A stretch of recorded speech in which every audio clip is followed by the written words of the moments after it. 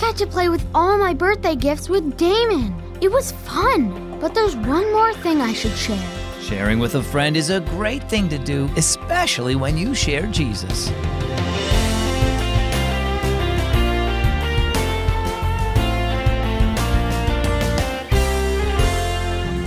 Hi, and welcome to Keys for Kids this Monday. My name is Zach. Is your birthday coming soon? I sure hope so. I bet you're excited about getting gifts from friends and family.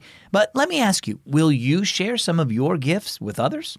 Sharing what you've received is a great way to let your friends know that you care, and the best gift you can share is Jesus. Romans 6:23 says, "But God gives his people a free gift, eternal life in Christ Jesus our Lord."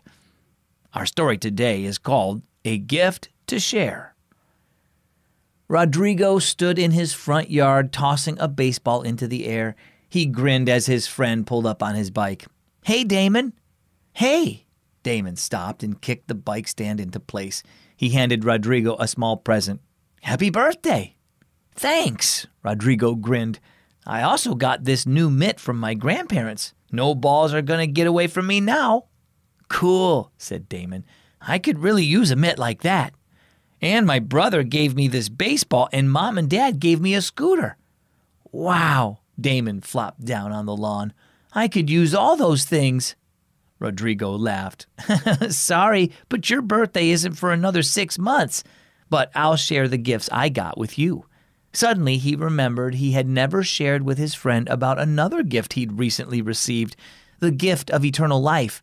I should tell Damon about that, he thought. It's a gift he can have too. Rodrigo took a deep breath and sat down on the grass next to Damon. I got another gift I really want to share with you. He paused and said a silent prayer, asking God to help him say what he needed to. It's a gift from God. Damon gave him a questioning look. What kind of gift? A few months ago, Riley invited me to come to vacation Bible school at his church.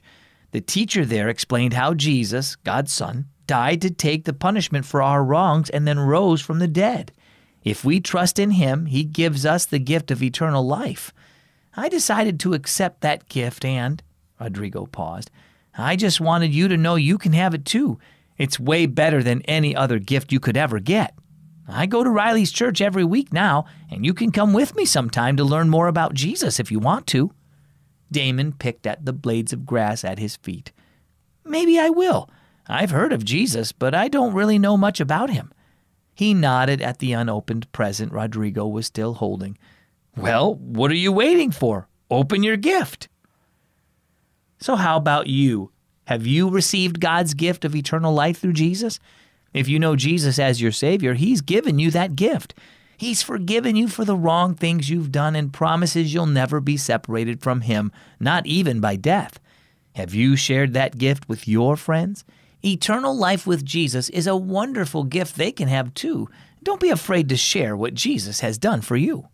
Our key verse is found in the book of Romans, chapter 6, verse 23. When people sin, they earn what sin pays death. But God gives his people a free gift eternal life in Christ Jesus our Lord. And our key thought today share the gift of Jesus. Partner with Keys for Kids Radio to spread the good news of Jesus around the world. Keys for Kids Radio is committed to sharing the truth of the gospel. As Angel shares, our family listens to Keys for Kids Radio every day. The programs encourage us to love and live for Jesus and to build a firm foundation on God's truth. You can partner with Keys for Kids Radio to ignite a passion for Christ in kids and their families.